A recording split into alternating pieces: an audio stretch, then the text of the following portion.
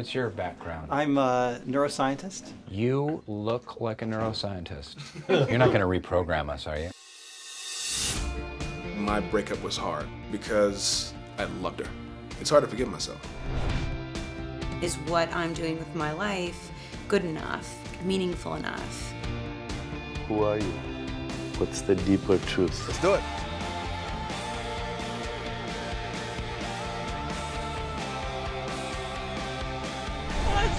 Excited.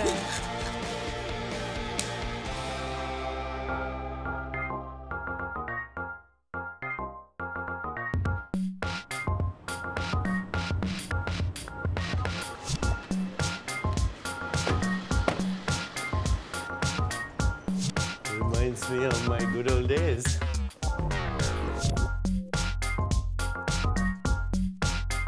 Hi, How are you? are you? Nice to see you. Yeah, hi. It's sunshiny day outside. I know, but it's rain inside.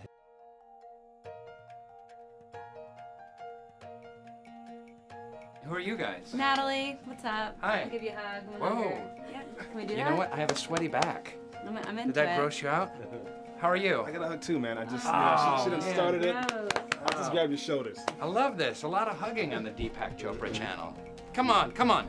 Here we go. Um, today, I understand that we're going to do some meditation. I believe they have a machine here, an imaging machine, Okay. that can see what happens to our brain waves when we meditate.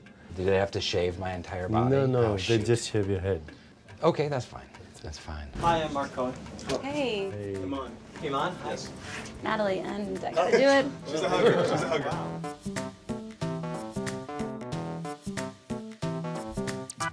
So I guess I'm going to be guiding, or running some EEG during a guided meditation today.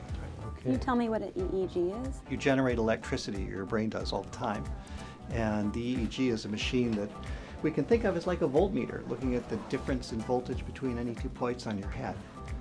Uh, but in our particular case, we're going to be looking at 256 points on your head, so we get kind of the whole surface. What's your background? I'm a neuroscientist. You look like a neuroscientist. I'm just saying, if I was casting a movie and I was like, I need a neuroscientist, and I was looking at a bunch of Polaroids, I would be like that that guy. Oh, that's interesting. So something about the rumpled shirt, or You're not going to reprogram us, are you? I wasn't planning. to. I wasn't planning to. The, the EEG is. Um, it only listens. It doesn't generate electricity to push into you, so it's all pretty passive here. Nice. In order to measure brain electricity, what we have to do is put contact points on your head. Um, and in our particular laboratory, those contact points are made from a little sponges full of a salt water solution. This is going to be a tight fit. I got a big noggin. The sponges are arranged in a net that's kind of like a bathing cap that you'll actually pull over the head that allows us to very quickly arrange all 256 electrodes distributed evenly over your scalp. And then we're going to plug it into a little recording system and we can watch the time history of the EEG play across a video screen. Is that, comfortable? Beyond the fact Yeah, it's really comfortable. yeah, thanks for asking. EEG and meditation have been studied for quite some time, and there are a lot of reports to suggest that people increase the power, just the size of the alpha rhythm in their brain, um, both as a result immediately of starting their meditation, but also as a long-term change in their brains. Meditators are reported to have a higher EEG resting state power. This is what we call a spectrogram, and it tells us how large the signal is at the different frequencies, meaning how often it changes over time. The stuff that's labeled here in gaudy green is what we call the alpha rhythm. So these are um, cycles of 8 to 13 times per second. Okay, so let me take you through something. Would you open your hands up like this? Because I'm going to show you something that uh, is known in the neuroscience literature now as interoception.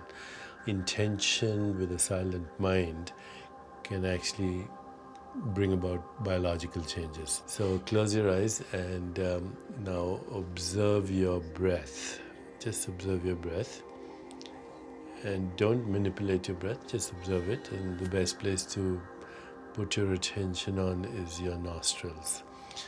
On the in breath, mentally say so.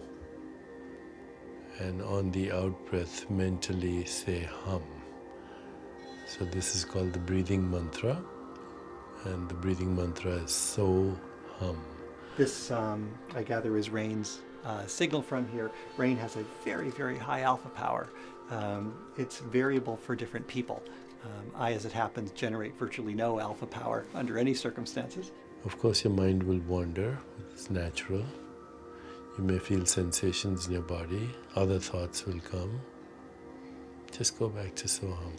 Now move your awareness into your heart and have the intention that you can actually feel your heartbeat, either as a sound or a sensation, and mentally whisper into your heart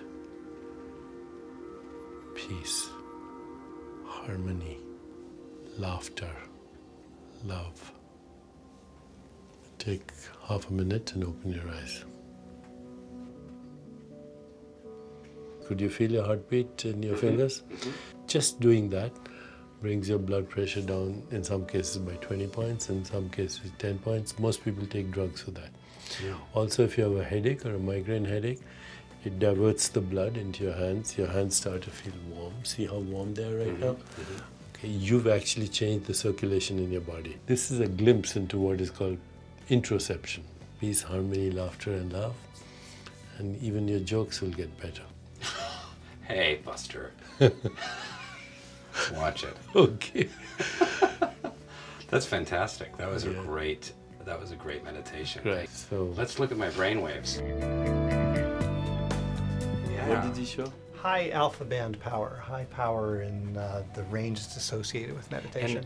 And was it able to show other superpowers that I have as well? Uh, you know, the superpowers, like, they're a little easier to see if you light a fire with your hands from across the room and this kind of thing, rather than looking at the electrical warm signals. his hands, right? Didn't you? I did warm my hands. Next yeah. time we'll throw the fire.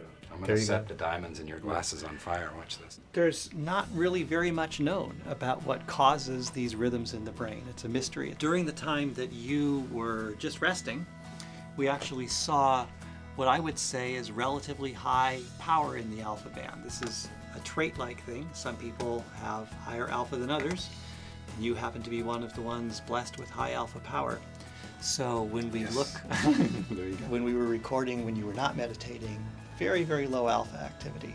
So when you started meditating, we saw this very prominent increase, which was impressive and um, is something that people have reported many times associated with meditation. So it works. It works, yes. Thanks so much for Yeah. showing me the inner recesses of my brain That's good. And your heart. and my heart too.